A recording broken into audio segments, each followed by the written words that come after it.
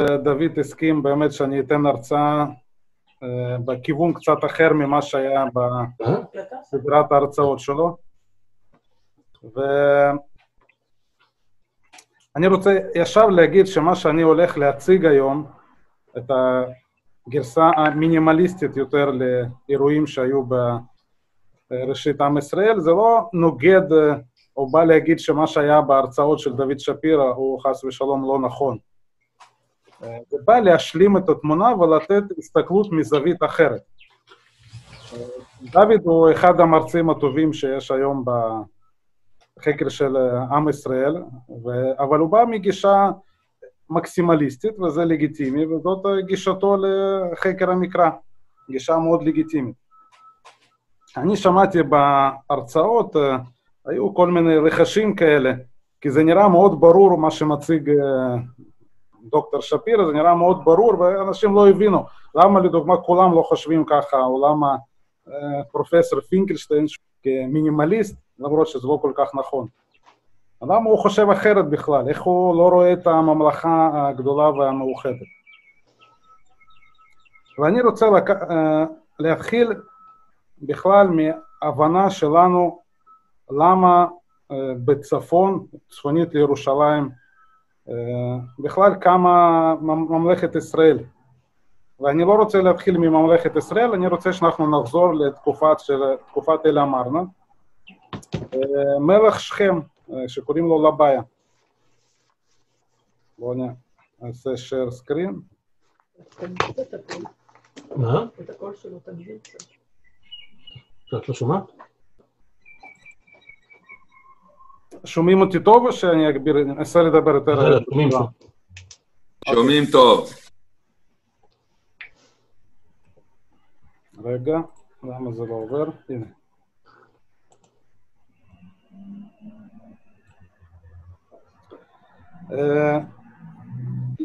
הודות לממצאים בתל אמרנה, אנחנו מכירים בפרטי פרטים את הסיפור של מלך שכם וקואליציית שכם.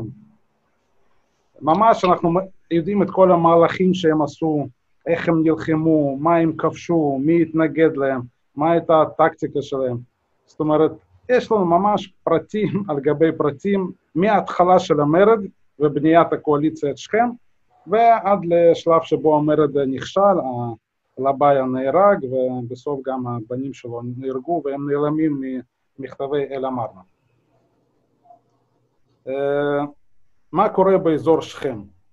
לבעיה באיזשהו שלב, כנראה זה גם היה לפניו, אנחנו לא יודעים מה היה בדיוק לפניו ומה היה אחריו, כי כל הבעיה של אל אמרנה שהיא פותחת לנו איזשהו חלון לתקופת זמן מסוימת. ויש לנו את ה-50-60 שנה שבו אנחנו מקבלים תמונה מאוד מדויקת, ומה שלפני זה ומה שאחרי זה זה למעשה חושך. זאת אומרת, אין לנו איזשהו ידע כתוב על התקופות שקדמו ותקופות שהיו אחרי זה. אבל אנחנו רואים מהמכתבים שלבעיה מתחיל לתקוף ולהתפזר לכל הכיוונים, מתלוננים עליו, כותבים, הרבה מלכים כותבים, כותבים לפרעה במצרים ומבקשים ממנו להתערב, מנסים, מנסים לדרוש צבא שיגיע מהר, אנחנו גם מבינים מה הוא רוצה להשיג. המטרה הראשונה של מלך שכם היא להגיע לשליטה בעמק יזרעאל. כי עמק יזרעאל למעשה זה הבסיס להקמת הממלכה uh, באזור הזה הצפוני יותר לירושלים. בלי שליטה בעמק יזרעאל אי אפשר להקים ממלכה גדולה, גדולה אי אפשר להקים אימפריה אזורית. לכן זאת המטרה הראשונית, אנחנו רואים שרוב הקרבות הקשים מתנהלים באזור תל רחוב, באזור מגידו, זאת אומרת הניסיון הוא להשתלט על עמק יזרעאל. פה יש לי מפה שאני קיבלתי אותה ממורי ורבי פרופסור ישראל פינקלשטיין, ומפה הזאת מראה בצהוב, אם אתם רואים, זה למעשה השליטה של קואליציית שכם. מה שקורה שהם חוצים לחצי למעשה את הטריטוריה המצרית בארץ ישראל. בכחול יש את האזור איפה שיש הכי הרבה קרבות והכי הרבה ניסיונות השתלטות, אנחנו רואים שזה באזור בית שאן, רחוב, מגידו ושמעון. האזור היותר צפוני הוא אזור שאין לנו לגביו 100% ידע מה קורה שם. יכול להיות שגם שם מתנהלים קרבות, אבל כנראה שקואליציית שכם לא מצליחה לשלוט שם, והאזור הזה עדיין שייך למצרים. יש כמובן אזור הדרומי יותר, שגם ירושלים גובלת בו, האזור הזה נשאר נאמן למצרים, לפרעה המצרי.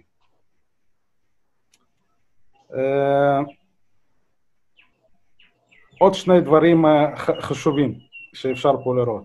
בשביל לבנות מעצמה אתה צריך לשלוט על עמק יזרעאל ואתה צריך לשלוט על הדרכים הכי חשובות שיש בכנען. ויש פה שני דרכים, דרך אחת זה דרך הים, שזאת הדרך המרכזית שכל המסחר עובר דרכה וזאת הדרך האסטרטגית. ויש לך דרך שנייה שנקראת גם דרך המלאכים שהיא עוברת בעבר הירדן, באזור של ירדן של היום. מישהו, מי ששולט בשני הדרכים האלה, קודם כל יש לו כסף, כי הוא מצליח לגבות מיסים, אי אפשר להתעלם ממנו, וברגע שיש לך מיסים, אתה יכול להחזיק צבא. כי באותה תקופה הצבא הסדיר בדרך כלל היה מאוד קטן עד לא קיים, ובלי שליטה במקורות הכספיים, וזה המקורות הכספיים היחידים באזור הזה, אי אפשר להחזיק צבא גדול. אנחנו גם לומדים מהמכתבים שלבעיה מצליח לשכור חיילים, הוא שוכר את הפירו האלה, הידועים לשמצה שהם מופיעים במכתבי אל-אמרנה.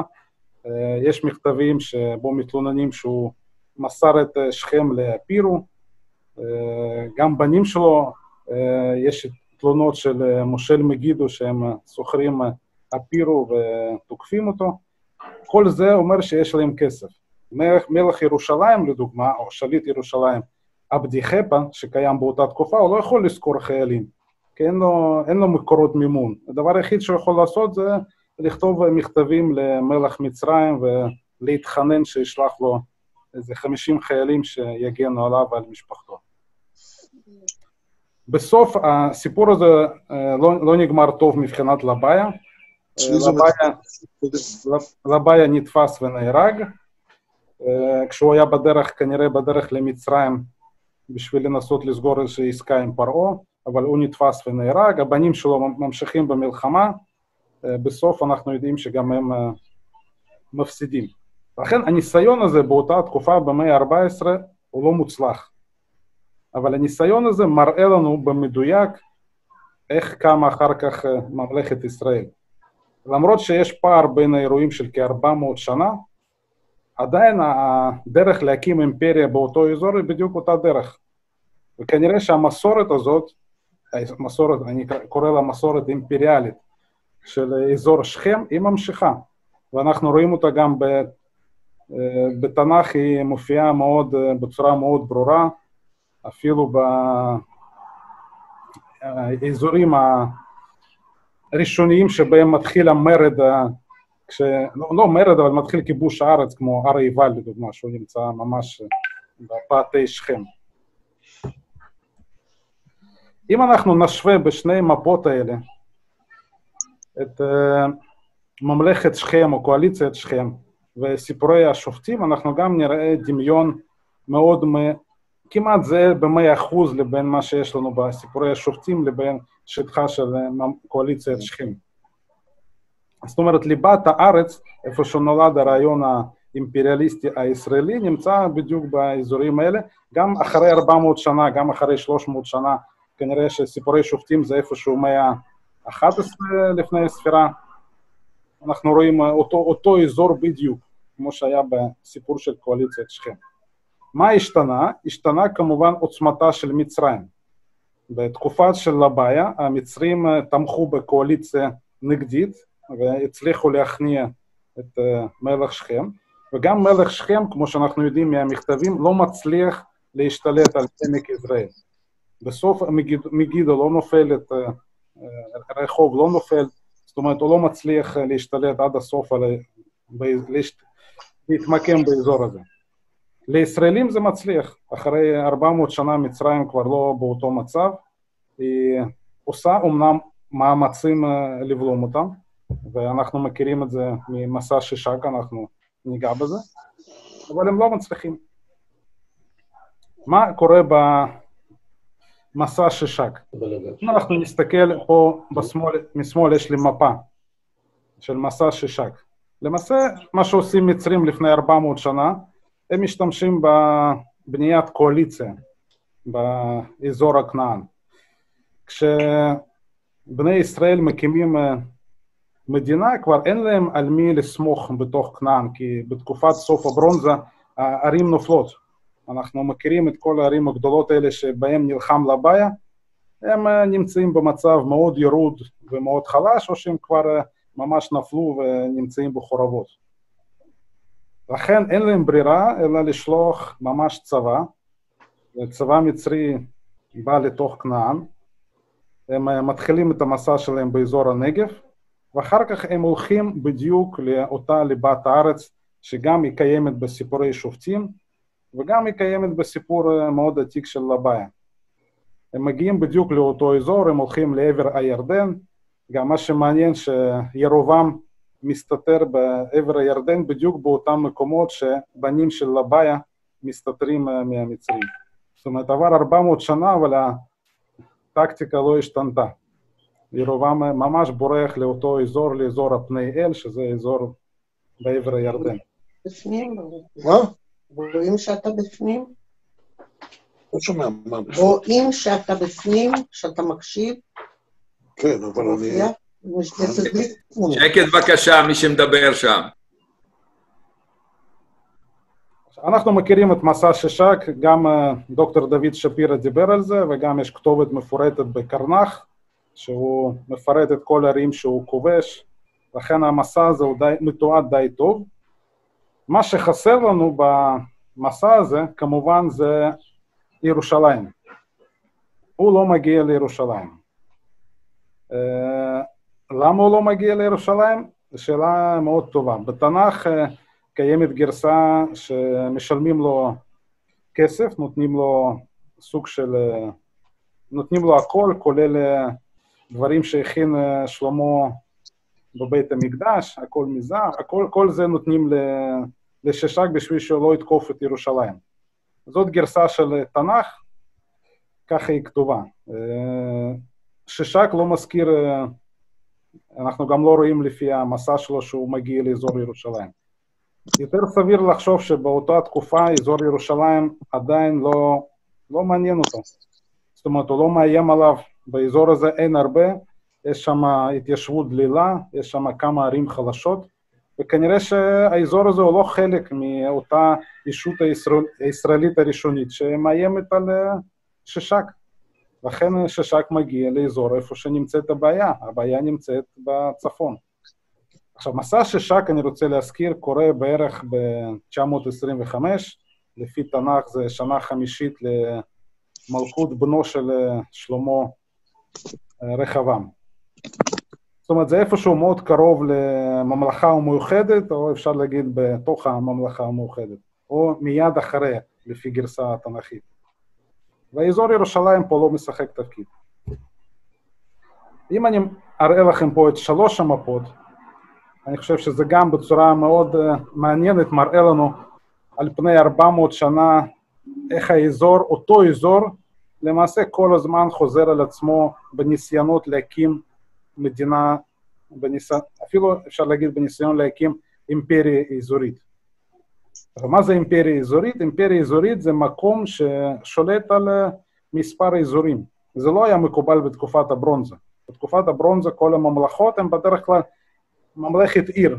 זאת עיר והיא שולטת על אזור מאוד קרוב אליה גיאוגרפית. זאת אומרת, אנחנו לא רואים ממלכות גדולות. באזור לבנט הזה יש כמה ניסיונות להקים ממלכות כאלה. אחד האזורים, אחד האזורים שאנחנו כל הזמן רואים את הניסיון הזה הוא אזור השכם. ישנו אזורים יותר צפוניים שהם יותר מרוחקים ממצרים, ואנחנו רואים בבקעת הלבנון את ממלכת המרו, שהיא קמה בעזרת החיטים בערך אחרי תקופת לבעיה. אבל זה, זה אזור שהוא יותר מרוחק ממצרים. ואנחנו אכן רואים שבאזור הזה קמה ממלכת ישראל.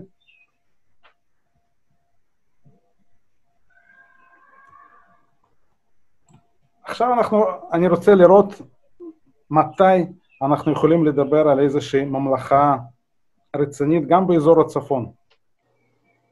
ויש לנו כמה שכבות ארכיאולוגיות שאנחנו יכולים לייחס לתקופות שונות. אה, אני מנסה לעשות את זה פשוט. יש, אה, מחלקים את זה לשתי תקופות. תקופת הברזל נהוג לחלק בהתחלה לשתי תקופות, תקופת ברזל א', תקופת ברזל ב'. אה, ההבדל בין התקופות שבתקופת ברזל א', אנחנו רואים שיש חורבות של ערים כנעניות, ובתוך החורבות האלה אנחנו פתאום מתחילים לראות סימני של תקומה. זאת אומרת, אנחנו רואים על בסיס הערים האלה איזושהי התיישבות חדשה. אה, ואנחנו רואים את זה במספר שכבות, זה מגידו, יוקנעם, תענך, תל רחוב, יש עוד, עוד אה, ערים נוספות. זאת אומרת, זה לא משהו שאתה רואה באזור אחד, אנחנו רואים את זה תמונה רחבה, דומה מאוד, בהרבה מאוד אה, אזורים, אזורים בצפון הארץ. עכשיו, זה אומר שהופיע מישהו חדש ומתחיל לאט לאט להתיישב במקומות האלה שנהרסו, נעזבו, או פשוט נחלשו מאוד. עדיין אנחנו לא רואים בשלב הזה בנייה מונומנטלית, זאת אומרת עדיין אנחנו לא רואים בנייה ציבורית רחבה, וזה מעיד על זה שמבחינה מדינית זה נמצא עדיין ב... ממש בהתחלה, זאת אומרת אנחנו לא רואים מדינה חזקה ששולטת באזור הזה ושהיא יכולה לארגן הרבה עבודות ציבוריות או לעשות uh, בנייה מאוד גדולה ומונומנטלית. לכן כל התחילה של המאה העשירית uh, עד למחציתה של המאה העשירית, uh, זאת תקופת ברזל א'. לאח, לאחריה מגיעה תקופת ברזל ב', ושם אנחנו כן כבר מתחילים לראות בנייה מונומנטלית ויש הרבה מאוד שכבות, אה, יש הרבה מאוד אה, קומפלקסים אה, ממשלתיים שנחפרו, כמו בתל ישראל, שיש לנו קומפלקס ממשלתי ברור שנחפר, כנראה יש את זה במגידו ובמקומות אחרים. פה אנחנו כבר רואים ממש בנייה חזקה. בנייה הזאת בהתחלה האסכולה התל אביבית נהגה לייחס לתקופת עומרי, והיום, כמו שאני שוחחתי עם פרופסור ישראל פינקלשטיין, הוא מעריך שאפילו בתקופת הבאשה, המלך שקדם לשושלת בית עומרי, אפשר לדבר כבר על בנייה ממלכתית רצינית ומונומנטלית. למעשה, התמונה הארכיאולוגית הזאת, היא לא משאירה לנו מקום לממלכת גדולה מאוחדת של דוד ושלמה. כי בתקופה השאלה היא מתי הייתה הממלכה כמובן, אם אנחנו הולכים לפי התנ"ך ועושים חישובים, אנחנו יכולים לדבר על משהו כמו 1020 עד 930 לפני הספירה. זה בערך התקופה שפה אפשר למקם ממלכה גדולה מאוחדת של דוד ושלמה. ובתקופה הזאת אנחנו רואים שרוב התקופה הזו זה תקופת ברזל א', שבתקופה הזאת אין בנייה מונומנטלית, אין ביצורים, ו... קשה לראות פה ממלכה גדולה. כמובן אנחנו מגיעים לנושא הכי, הכי רגיש, נושא של ירושלים. אז א', כמו שאני כבר דיברתי, אם אנחנו מסתכלים על התמונה הרציפה של ההיסטוריה מתקופת הברונזה ועד לתקופת הברזל ב', האזור הזה של ירושלים לא משחק תפקיד. גם ללא קשר ליהוד לשם, הוא לא משחק תפקיד מרכזי, הוא לא נמצא על שום דרך מסחר רצינית, הוא לא שולט על שטחי חקלאות רציניים, אה, לכן העיר היא יחסית ב- לקראת המאה העשירית, העיר היא קטנה, ומה שהכי מעניין, אני מראה פה תמונה שאני הורדתי מאתר של עמותה City of David, ויש הרבה כאלה תמונות אה, באינטרנט עם כל מיני גרסאות. והתמונה הזאת היא fake news אה, הכי גדול שקיים.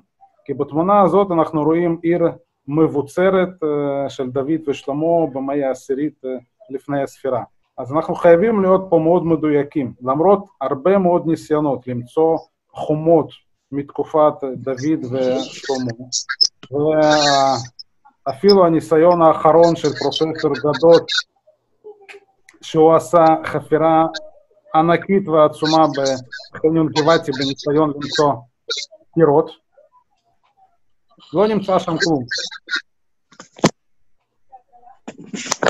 לכן, העיר הזאת אה, הייתה מבוצרת בתקופת הברונזה, ואנחנו רואים את הביצורים האלה. אה, העיר הזאת הייתה מאוד מבוצרת בתקופה של חזקיהו, לקראת תקופה של חזקיהו, וגם את הקיר הזה אנחנו רואים היום בעיר העתיקה של ירושלים, ניתן לראות קיר עצום בתקופה של חזקיהו. לכן כשיש ביצורים אנחנו רואים אותם. בתקופה של דוד ושלמה אנחנו לא רואים ביצורים, אולי רק באזור אה, הגיחון. לזה יש כמה פרשנויות כמובן, יש אה, חלק אה, אומרים שהעיר לא הייתה מבוצרת וזו עובדה. יש חלק כמו פרופסור ישראל פינקלשטיין ואלכסנדר פנטלקין שהם חושבים שאנחנו מחפשים את העיר הקדומה של ירושלים במקום הלא נכון וצריך לראות את העיר הזאת בהר הבית. זאת אומרת, הם חושבים שהתל הקדום של ירושלים הוא בהר הבית, לכן גם אם הייתה מבוצרת, הייתה מבוצרת כנראה בהר הבית. אה, זאת התמונה מירושלים, וצריך לקבל אותה כמו שהיא.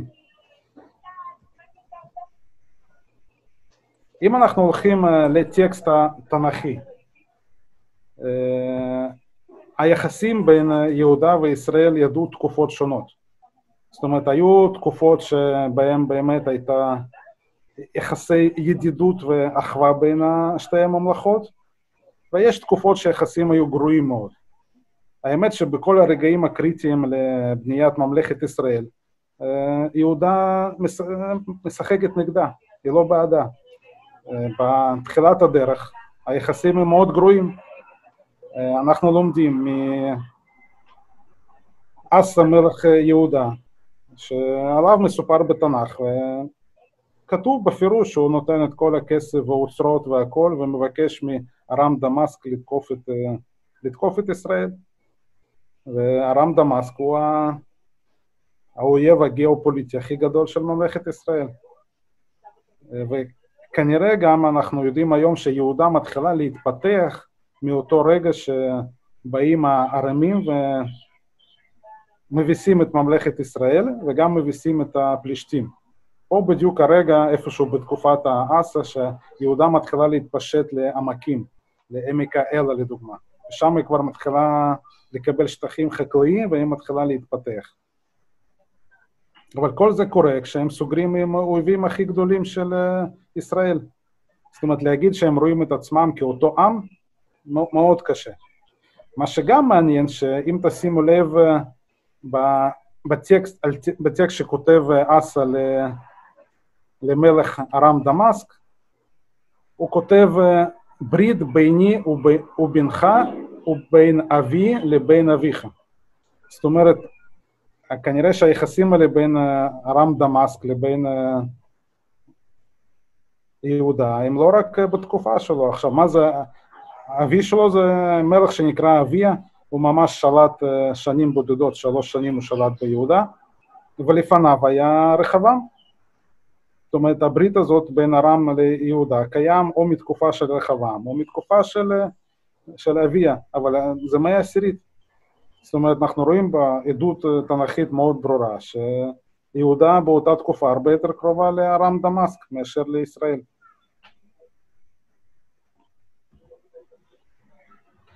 יש עוד מקורות בתנ"ך שהם מאוד כאלה, נותנים לנו אינדיקציה מאוד חשובה לגבי עם אחד או לא עם אחד.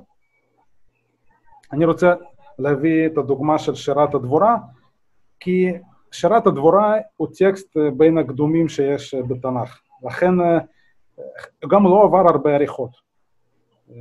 ישראל קנול, פרופסור ישראל קנול עשה הרבה מאוד עבודות על, ומחקר על השיר הזה, והוא מגיע למסקנה שרק שלושת הפרקים האחרונים של שירת דבורה הם פרקים לא מקוריים והם תוספת מאוחרת, ואת רוב השיר הזה הוא באמת שיר מקורי, ואני אפילו פוחד להגיד, אבל זה כנראה מגיע למאה ה-11 לפני הספירה.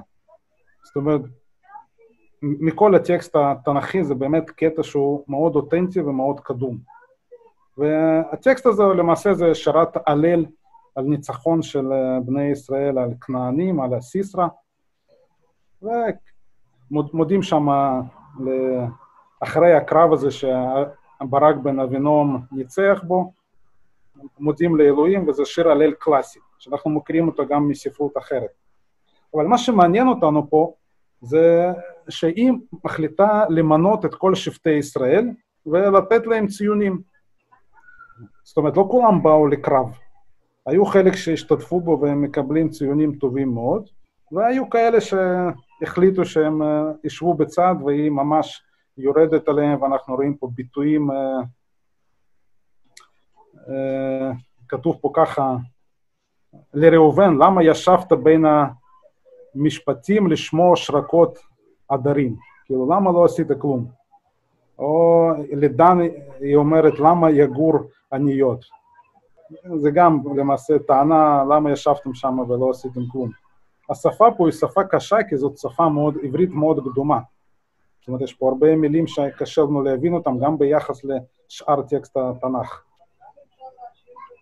ומי שכן בא ומשתתף, הוא מקבל ציונים לשבח. הכי מעניין שהיא לא מזכירה בכלל, לא לחיוב ולא לרעה, היא לא מזכירה את יהודה.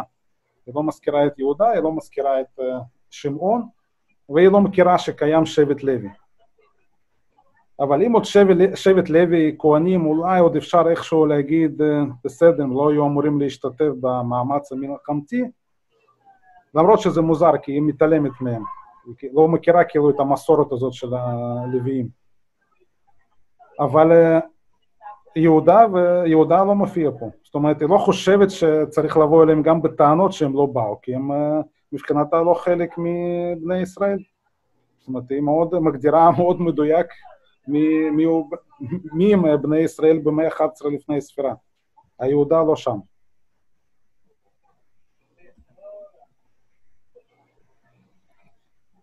אם אנחנו ממשיכים בהיסטוריה, אז uh, קצת לפני שאני מגיע לסלייד הזה של אחז, אז יש תקופה של uh, בית עומרי.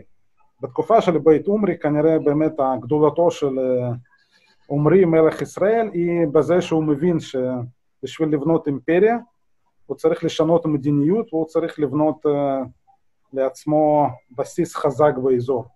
והוא מתחיל לשפר יחסים עם השכנים ובתוך זה הוא משפר יחסים עם יהודה. ואנחנו רואים שבתקופתו של בית עומרי יהודה היא שותף של ישראל, יכול להיות שהיא וסל של ישראל, אנחנו לא יודעים בדיוק, אבל כן, היחסים הם יותר קרובים והם הם משתתפים יחד במלחמות. אני גם חושב שבמלחמה, בקרב הגדול של אחאב, בנו של עומרי בקרקר, כנראה גם הכוחות היהודאים השתתפו, כמו כל שאר השותפים של ישראל. לכן כשאנחנו רואים את המלך אשור מונה את הכוח העצום של עומרי, כנראה הוא כולל גם כוחות של מדינות הלוויין שלו. אבל uh, בסוף דרכה של ישראל אנחנו רואים עוד פעם, היחסים הם מאוד, מאוד גרועים. לא רק הם גרועים, אנחנו צריכים גם להבין שלמעשה מלך אשור מגיע לישראל, מגיע להרוס את ישראל ולהרוס את ארם דמאסק לפי הזמנה של מלך יהודה. זאת אומרת, הסיבה הפורמלית היא שמלך יהודה פונה למלך אשור, והוא אומר, תבוא ותשליט פה סדר, תשמיד את, תשמיד את האויבים שלי.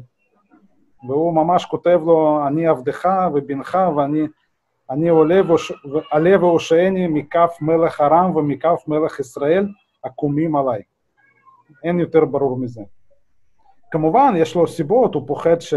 הוא כנראה לא מסכים להצטרף לקואליציה אנטי-אשורית שיוזמים uh, מלך uh, ישראל פקח ומלך ארם דמאסק רצים.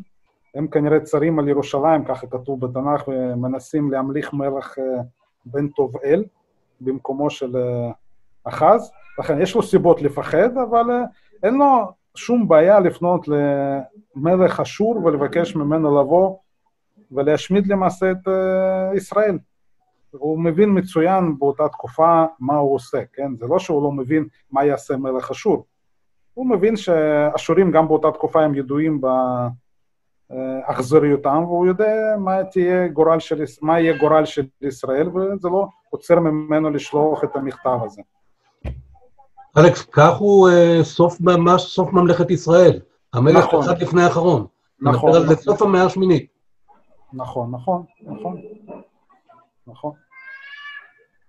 אז מאיפה פתאום, לאחר ש... עוד פעם, יש פה הרבה דוגמאות עוד בתנ"ך, אבל אני רוצה שאנחנו בפרק הזמן הקצר הזה שיש לי נוכל להגיע לעיקר. אז למה אנחנו בסוף חושבים כולנו היום שבאמת הייתה ממלכה גדולה ומפוארת ובאמת היה עם אחד במאה העשירית לפני הספירה? והיום רוב החוקרים חושבים שהרעיון הזה של ממלכה מאוחדת ועם אחד ובית דוד ששולט על העם הזה ושולט על הממלכה הזאת מירושלים, הוא רעיון שנולד בתקופה של ישעיהו. אה, אנחנו, יכול להיות שגם הוא התחיל, הרעיון הזה התחיל גם בתקופה של מנשה, והוא לא ממש נולד בתקופה של ישעיהו, אבל בתקופה של ישעיהו יש לנו הזדמנות, יש, יש למפלגה הזאת שדגלה ברעיון הזה פתאום הזדמנות היסטורית. אה, מה קורה למעשה אה, אצל ישעיהו? ישעיהו הוא די, די מסתורי. הוא אומר לך די מסתורי. אה, ידידי ומורי ורבי דוקטור יגאל בן נון כתב הרבה מאוד על מלך ישעיהו ועל שפן בן הצליהו ועל מפלגתו של שפן. לכן אני לא ארחיב כי אין לנו מספיק זמן, אבל בואו נגיד ככה, בפרטים קטנים הוא מגיע לשלטון אחרי שהורגים את המלך עמון, בנו של מנשה. הוא נהרג, אנחנו לא יודעים בדיוק איך, אבל הוא נהרג. הוא מגיע לשלטון, לשלטון כילד קטן. איפה זה כתוב שהוא נהרג? המון. אוקיי. המון נהרג. אוקיי, בסדר. והוא מגיע לשלטון, אנחנו לא יודעים אם הוא בנו של המון באמת או שהוא לא בנו של המון, קשה לדעת. ברור לנו שיש מסביבו חבורה מאוד מגובשת, אה, כנראה עם רעיונות מאוד ברורים. ובימיו, אה, יש, העדות הזאת נמצאת גם בתנ"ך, יש בימיו באמת מהדורה ראשונה של האידיאולוגיה הזאת בתוך אה, ספר דברים, בתוך אה, ספר שמואל ב', בתוך עריכה של ספר מלכים. זאת אומרת, פעם ראשונה אנחנו רואים רעיון של ממלכה גדולה ומאוחדת. למה בתקופה הזאת? קודם כל, יש לו אירוע מרכזי שכנראה ממש אף אחד לא מצפה לו. אשור נעלמת פשוט מהמפה אה, תוך, בתוך עשר שנים. זאת אומרת, אה, כשנולד, אה, כשנולד ישעיהו, הוא נמצא בעולם שאשור שולטת בו. בתקופת קודמיו, כמו מנשה, אשור היא כל העולם. אנחנו נמצאים גם בתקופה שהיא תקופה שיא השגשוג של אשור, התקופה הזאת נקראת הפקס האסיריאנה. השלום האשורי, תקופה שנמשכה כ-50 שנה, ובה אין מלחמות, יש מעצמה אחת ששולטת בכל העולם, וזה תורם לאיזו פריחה כלכלית, למנהל מסודר, אין מלחמות, זאת אומרת, סך הכל זו תקופה לא רעה שהיא בתקופה של מנשה. ואף אחד לא יכול להעלות על הדעת שהמעצמה הזאת פתאום תקרוס. עכשיו, בתקופה של ישעיהו, כשהוא נולד, המעצמה הזאת קיימת והיא בשיא כוחה. כשהוא מגיע לגיל 18, האשור נעלמת. זאת אומרת, זה בהחלט שוק מאוד רציני, לא רק לו, זה בשביל כולם שוק. עכשיו, היא נעלמת והיא אה, פשוט נסוגה בבהילות מכנען. לא קיימת יותר. חלק מהמצב שלהם לא קיים, אף אחד לא קיים, פתאום יש לנו איזשהו ואקום שלטוני. עכשיו, ליהודה כמה שזה לא יישמע מצחיק, מדינה יחסית לא גדולה באותה תקופה, אבל יש לה צבא. למה יש לה צבא? כי כל האזור הזה, צפונית לירושלים, הוא למעשה פחווה אשורית. זאת אומרת, הוא לא מדינה, אפילו לא מדינה בת חסות. ירושלים, בניגוד לשאר המדינות אה, מסביב, היא מדינה עצמאית, למרות שהיא כמובן, היא הייתה תחת שלטון אה, וסל של אשור ותחת מס מאוד כבד של אשור, אבל אנחנו יודעים שליהודה יש צבא. אנחנו יודעים שמנשה משתתף חיל, חיל, משלו, חיל צבא של מנשה משתתף במסעות של אשור. זאת אומרת, אנחנו בבירור, יש לנו עדות חיצונית שליהודה יש צבא. עכשיו, כמה שהצבא הזה קטן לא יהיה, ברגע שאשור נסוגה, זה כוח צבאי מאורגן, שקיים הרבה שנים, וזאת הרגע האמת של מפלגתו של ישעיהו, שהיא מתחילה לפעול. איך היא מתחילה לפעול, אנחנו יודעים בפרטים מהתנ"ך, הוא מתחיל לתקוף לאזור הבית אל, מתחיל לתקוף ולנסות להתפשט לכל השטחים של ממלכת ישראל מצפון לירושלים. אה, גם מה שמעניין, למרות שאנחנו נמצאים ביהודה, אה, רוב היועצים של אה, ישעיהו הם מהצפון. יכול להיות שגם הוא בעצמו ממשפחה צפונית והוא לא מבית דוד, זאת גם אפשרות. גם רוב התושבים של ירושלים הם צפוניים. יש מחקרים שאומרים 70% מתושבי ירושלים הם צפוניים. ומה שהם מביאים איתם מהצפון, מהצפון, מממלכת ישראל, זה לא רק מנהגים וזה אה, לא רק סיפורים, הם מביאים גם את הרעיונות האימפריאליסטיים הגדולים. זאת אומרת, אה, מה שיש לנו ביהודה של סוף, אה, אפשר להגיד גם לקראת סוף ימיה, בתקופת ישעיהו, זה איזושהי אידיאולוגיה מוזרה, שמצד אחד היא אידיאולוגיה של יהודה, מצד שני היא מושפעת מאוד מהאידיאולוגיה הישראלית לשעבר.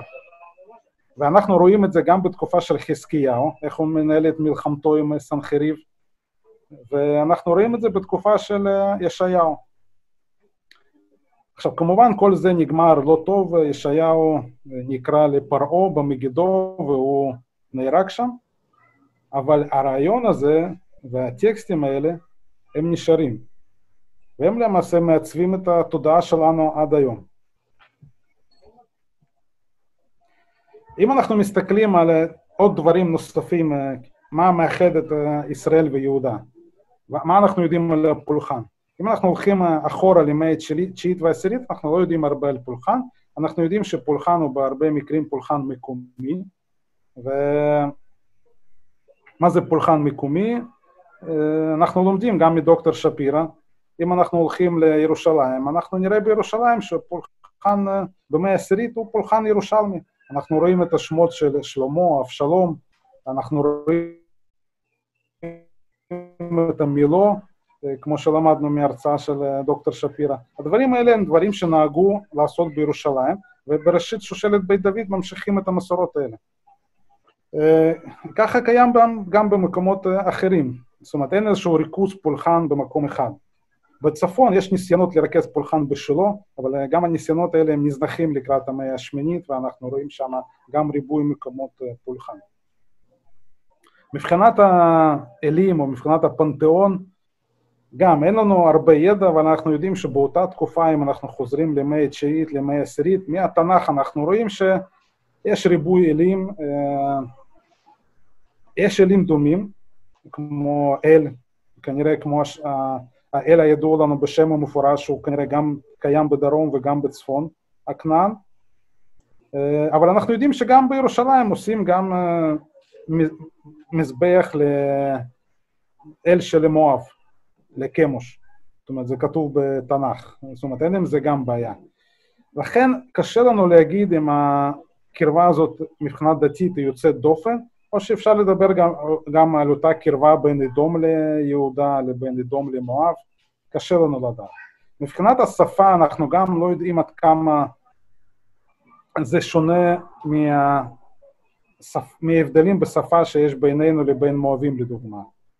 מימי עשירית כמעט ואין לנו טקסטים, אה, אנחנו יודעים שכולם פה דיברו פחות או יותר אותה שפה. אה, בין הטקסטים הקדומים הגדולים שיש לנו זה הסטלת מיישה שגם דוקטור שפירא דיבר עליה. הסטלה הזאת היום לדוגמה, מי שקורא עברית, ואם מתרגמים אותה היום מכתב עברי לכתב ארמי שאנחנו משתמשים בו היום, אנחנו נוכל להבין מה כתוב בסטלת מישה. אפילו אנחנו היום. זאת אומרת, השפה היא דומה, דומה מאוד לעברית. אנחנו יודעים שהיו הבדלים בין ישראלית לבין יהודית, שגם שם האל מבוטא אחרת, אנחנו רואים את זה גם בשמות הפרטיים שמשתמשים בשם האל. זאת אומרת, היו הבדלים כנראה, אבל קשה להגיד כמה זה יותר שונה מהבדלים בין מואבית ליהודית או ישראלית. כשמגיע הרב שקה, אה, שליחו של אה, סנחריב לירושלים בזמן המצור, אז אומרים לו, דבר יהודית. זאת אומרת, הם קוראים לשפה שלהם יהודית. אבל זה כמובן תקופה יותר מאוחרת. יש שאלות שאנחנו לא נגענו פה, והן שאלות פתוחות שנמצאים היום במחלוקת. קודם כל, יש מחלוקת גדולה סביב השאלה מתי בכלל אה, קמות הממלכות האזוריות. זאת אומרת, יש חלק מהחוקרים שהם ספורים שעד מאה התשיעית אנחנו לא רואים ממלכות טריטוריאליות אזוריות באזור הלבנט. ולכן כל הדיבורים על ממלכת שלמה היא לא רלוונטית, כי פשוט באותה תקופה עוד אין ממלכות אזוריות. יש היום הרבה חוקרים כמו ארז בן יוסף, שחפרו בערבה ומוצאים שם סימנים לממלכת אדום בתקופה של מאה ה-11. זאת אומרת, זה נושא שנתון במחלוקת. אני לא, לא חושב שאנחנו יכולים לפתור את זה, אבל זה, זה נושא שצריך לה, לזכור שהוא קיים. יש את המחלוקת הגדולה שנמשכת כבר משנות ה-60 על שערים בחצור, גזר ומגידו. אני גם לא רוצה להיכנס למחלוקת הזאת, כי גדולי החוקרים מתעסקים בזה, אני קטונתי. זה, זה מחלוקת בין ארכיאולוגיה, מחלוקת גדולה, וכמובן השאלה היא לאיזה תקופה לשייך את השערים האלה. האם אפשר לשייך אותם לתקופת ממלכת שלמה, או שאי אפשר לשייך אותם. יש את קיאפה, שכמובן מצאו אותה, ועיר מבוצרת ממאה עשירית, שאלה גדולה, היא דומה בתכנונה לעיר יהודאית, כאילו שהיא נבנתה 200 שנה אחרי זה, אבל תוצאות פחמן 14 נותנות תיארוך של מאה עשירית, תעלומה. יש כמובן את המבנה המדורג בירושלים, שגם שאלה מתי הוא נבנה ועל ידי מי הוא נבנה. זאת אומרת, זה באמת שאלות פתוחות. אבל אני לא חושב שהשאלות האלה, הם משנים את התמונה הכללית. זאת אומרת, התמונה הכללית היא שקשה לראות במאה העשירית ממלכה גדולה ומאוחדת באותו אזור. אם יש כמה שאלות, אני אשמח. אוקיי. יש שדוקטור שפירא רשם משהו. אני אדבר בסוף, אם עדיין יהיו שאלות. יש לי ודאי מה לומר, אבל בואו נראה את החברים. אם אפשר לסגור את המסך שנוכל לראות. אוקיי. מי שרוצה לדבר, ש... מישהו רוצה לשאול? בואו נפתח רגע. אלכס, זה גם, אתה מדי פעם מפנה אותנו לתנ"ך, כן? למלכים, שמואל, אבל בספרים האלו יש עוד דברים שאולי קצת סותרים את מה שאתה אומר. יש, לכן אני אגיד, אני אגיד לך למה אני שם דגש על שירת הדבורה. שירת הדבורה הוא טקסט מאוד אותנטי, הוא טקסט שאין עליו מחלוקת והוא טקסט מאוד קדום. כשאנחנו מגיעים אפילו לספר דברים, הספר דברים עבר בין, לפי ספרים שונים, בין 3 ל-12 עריכות. אוקיי? לכן אני מאוד פוחד מהטקסטים האלה שעברו הרבה מאוד עריכות, כי אנחנו נכנסים לקרקע שהיא קרקע מאוד בעייתית. אנחנו נמצא, אני יכול למצוא חוקרים שאומרים א', ואתה תוכל למצוא חוקרים שאומרים ב', וזאת מחלוקת. אבל אם אני מגיע לשירת הדבורה, אין שם הרבה מחלוקות. זאת אומרת, יש שם אולי חלקים קטנים מאוד שנוספו אחר כך. לכן אני מסכים איתך, אם אתה תראה הרבה טקסטים, הם טקסטים מנוגדים, כן?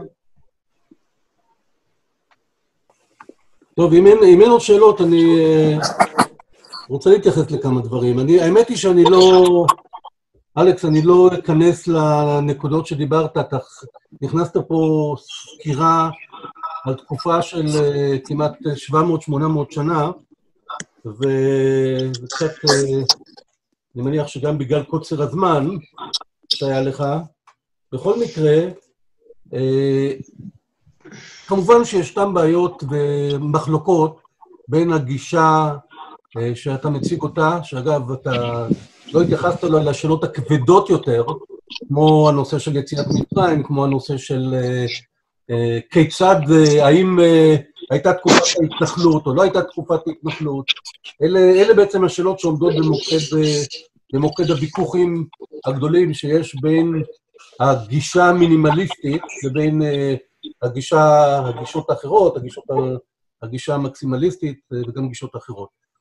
אני אגיד לך, אני שומע, אני שומע אתכם מדברים, את החבר'ה של אה, הגישה המינימליסטית, ומנסים להציג את התיאוריה שלהם, ואתם תמיד משתמשים באיזשהו מונח שמאוד קשה לי לקבל אותו. רוב החוקרים סוברים כך. אז אני מודיע לך שלא רוב החוקרים סופרים כך, כי רוב החוקרים, אה, אני חושב שלא סוברים כך, אבל גם לי אין על זה, אף פעם לא עשינו סקר. יש כאן, והייתי רוצה לדבר באמת על הנושא הזה של ההבדלים בגישות האלה. אז uh, הגישה, בגישה המינימליסטית הזאת, uh, הייתי אומר שנוקטים אולי רבים מהארכיאולוגים. מעטים מחוקרי מקרא. כי למה? כי ישנם כמה סיבות לכך. כי חוקר, כי מישהו חוקר uh, ארכיאולוגי, שהוא uh, מת, מתעסק בארכיאולוגיה, מבחינתו בדרך כלל, ורואים את זה חדשות לבקרים, אתה שומע אותם מדברים על זה, אם לא מצא, לא היה. זאת אומרת, אה, בדרך השלילה. וזו איזושהי גישה שלדעתי חוקר לא יכול לקבל אותה, את העניין הזה. אין להם, בשום מצב, אין שום הוכחה לדברים שהם אומרים שלא היו, רק היעדר אה, הממצאים, או כתיבה מאוחרת, או מה שלא יהיה. עכשיו, הגישה שלי, הצורה השנייה באמת של אה, אותם מינימליסטים של הגישה המינימליסטית, הם אותם אלה שחושבים שהתנ"ך הוא ספר בלוף. הוא ספר פולקלוריסטי, שמעולם אין לו שום קשר בינו לבין המציאות, ובדרך כלל זה גם, שני הסוגים האלה הם גם כן ביחד, אה, וזה גם דבר שקשה לי לקבל, כי איך שלא תסתכלו על זה, התנ"ך הוא ממצא ארכיאולוגי כמו כל ממצא ארכיאולוגי. נכון, אין לנו אולי uh, תנ"ך מראשית התקופה מהמאה העשירית, התשיעית, השביעית אפילו לא, אבל יש לנו כן מהמאה השלישית לפני הספירה, טקסטים מקראיים, מהמאה הרביעית לפני הספירה, טקסטים מקראיים, ולכן אי אפשר שלא להתייחס לזה כאל טקסטים uh, שהם uh, כאל, כאל מוצר ארכיאולוגי, ממצא ארכיאולוגי. זה ממצא ארכיאולוגי לכל דבר ולכל עניין. ואני אני בגישה שלי, אני אה, לא מהמקסימליסטים שחושבים שהיה קריאת ים סוף, ושיצאו 60 אה, ריבו ממצרים, שזה משהו כמו שלושה מיליון, אה, אני לא מאלה שסוברים כך, אבל אני חושב שחייבים לעשות, לנסות להיכנס לטקסט, וזה אחד התפקידים שלי כחוקר מקרא, להיכנס לטקסט ולנסות לבודד את, ה, את החלק הניסי, שהוא פחות, שהוא יותר, זאת אומרת, הוא לא בעייתי מבחינתי, מכיוון שאני מוכן אה, בכלל לא להתייחס אליו. אבל לקחת ולומר שיש יש פה גרעין היסטורי. ובהרצאות שלי, אני חושב שהראיתי את זה לאורך כל הדרך, בעיקר בנושא של, אה, של מצרים, יציאת מצרים, גם בנושא של תקופת ההתנחלות, אלה דברים שישנם וקיימים, ואפשר להסתמך במידה מסוימת על התנ"ך כ, אה, כ, כ, כבסיס כגרעין היסטורי לכל דבר ועניין, וחבל שלא עושים את זה. אז זה, זה הנקודה, ועד כאן, אם יש מישהו שרוצה עוד לשאול... דוד, אני מסכים איתך, אבל אני חושב שגם אני מסתמך על התנ"ך, אני לא חושב שהתנ"ך נוגד את הרעיון שלו הייתה ממלכה מאוחדת. שאתה, לא, מה, עם התנ"ך? לא שמעתי. אנחנו רואים את התנ"ך בצורה ביקורתית. אנחנו רואים שם עדויות לזה שלא הייתה ממלכה מאוחדת.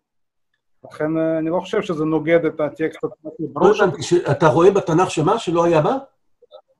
אני אומר שאם אנחנו קוראים תנ"ך בצורה ביקורתית, כן. אנחנו רואים שם על היחסים הלא פשוטים בין ישראל ליהודה. מתי? מתי זה היה? הפעם הראשונה בתקופת באשה. מתי? אה, מתי אתה קורא לפני כן? אם הייתה, אם, אם הייתה ממלכה מאוחדת במאה העשירית לפני הספירה, איפה אתה קורא בתנ"ך שהיה יחסים לא טובים. היחסים הלא טובים התחילו רק בסוף, בתחילת המאה התשיעית לפני הספירה. 908 לפני הספירה, משהו כזה, תקופתו של באשה, עשה מלך ישראל שדיברת עליו. אבל אה, בדרך כלל, אה, לפני כן לא. התנ"ך בפירוש מדבר על... אני חושב שאם אתה עובר לטקסטים ההיסטוריים של התנ"ך, אם אתה, נגיד, מוריד את הסיפורים הגדולים והיפים על שלמה, שבאמת רובם הם אה, סיפורים מאוחרים ולא, אני לא חושב שאתה חושב שהם סיפורים אותנטיים. כנראה סיפורים מימיו של מנשה, אני לא יודע מתי הם נכתבו. אבל אה, אם אתה יורד לגרעין ההיסטורי שיש שם, אתה תראה שזה לא, האידיאולוגיה הזאת הדי מאוחרת, ממלכה מאוחרת, היא לא נאחזת בטקסט, אין לה אחיזה. אני מסתכל על 11 הפרקים של uh, הראשונים בספר מלכים א' שעוסקים בשלמה, בהחלט יש כמה פרקים שהם לא נגועים בתקופות יותר מאוחרות. כך למשל אפילו, אתה יודע, דיברנו על נושא של, uh, של בניית המקדש. נושא של בניית המקדש הוא טקסט עתיק, קדום, אני חושב לפחות כך חוקרי המקרא מדברים על זה שהוא מה שנקרא, הוא, הוא לפני טקסט דוטרונומיסטי. נכון, תסתכל על פרק ח', פרק ח', הנושא של כל ברכת שלמה, הוא טקסט דוטרונומיסטי לכל דבר ועניין. אבל ישנם בהחלט טקסטים שהם טקסטים קדומים, ומצביעים בהחלט על, על, על רעיון קדום של ממלכת ישראל. אני לא חושב שעל פי המקרא, על פי התנ"ך, אתה יכול לומר שלא הייתה ממלכה קדומה. זה לא, זה לא דבר שהוא, שהוא בכלל נכון. אני הייתי גם אפילו משהו אחר. הרעיון הזה של ממלכה המאוחדת, הזיכרונות האלה של ממלכה מאוחדת, הם רגע, זיכרונות... רגע, אני לא שומע אותך, שנייה אחת. טוב. כן, דבר. אני חושב שהרעיון הזה של ממלכה גדולה ומפוארת ומאוחדת, הם זיכרון דווקא צפוני. זה בא מתקופת בית עומרי, מתקופת ירובעם השני, שבהם באמת ישראל הייתה מדינה משמעותית, והיא שלטה על שטח מאוד גדול, כנראה כולל גם את יהודה.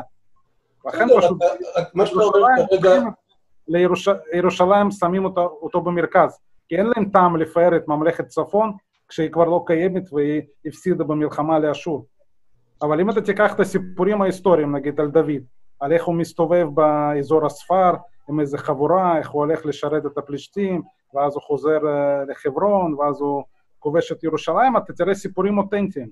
הסיפורים הם באמת סיפורים אותנטיים של משהו הררי, קטן, קבוצה לא, לא גדולה שמסתובבת איתו. אלה באמת סיפורים אותנטיים כנראה שבאים מיהודה.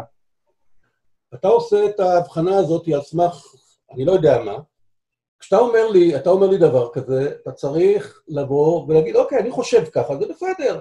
אני לא יכול להתווכח על, על מחשבות שלך. מבחינת הקריאה של הטקסט, אין לך שום דרך להראות את הדבר הזה שממלכת, שלא הייתה ממלכה, אה, ממלכה מאוחדת. אין לך דרך להראות את זה. זו, זו, זו עובדה שהיא, בא, אתה בא אתה אומר לי שירושלים היא קטנה, ירושלים הייתה ידועה במאה ה-18 לפני הספירה. יש לנו את ירושלים במאה ה-14 כעיר ממלכה, לכ- כעיר ממלכה לכל דבר ועניין. ראינו את זה שם, בכל, בכתבי בית המר, בתל המרנה. קשה לבוא ולהגיד שירושלים לא הייתה קיימת וששישק לא, בכלל בתקופת שישק היא לא הייתה. אגב, שישק, במסע המלחמה שלו, כ-20 או 25 ערים שהוא כבש היו דרומיים. חוץ מזה, מרבית הערים היו קטנים מהירושלים שמוכרת לנו מתקופת הברונזה. מרבית הערים שהוא כבש. אז, אז אה, זה לא, לא מסתדר, אני לא יודע, שישק יכול להיות שהוא, שבאמת הסיפור היה ש, אה, שרחבעם שילם לו כסף והוא עזב, אבל גם יכול להיות שבכלל אה, זה, זה מופיע שם וזה שבור. חלק מהערים, מהערים לא רשומות שם על הכתובת. ראינו את זה. הוא רוצה לייצג את זה מספיק, זה לא יכול להתווכח. את שלך אמר. בסדר. מותר לו להגיד שלו? תודה רבה. בסדר, רבותיי. תודה רבה. אתה רוצה עוד להגיד עוד משהו, אלכס? ניתן לך זכות סיום. לא, אני, את מה שהיה לי להגיד, אני אמרתי בראשי פרקים, אני חושב שזאת גישה שיש לה זכות קיום, אני חושב שהיא פותחת גם מחשבה להסתכלות אחרת על ההיסטוריה שלנו. לא חושב שאנחנו צריכים לפחד מגישה מינימליסטית גם. אני, דרך אגב, יכול באותה מידה לעשות גם אה, הרצאה על הגישה המקסימליסטית, שם אני אביא דברים אחרים. אני חושב שזה גם בסדר, כי זה נותן הסתכלות לכל הכיוונים. תודה רבה.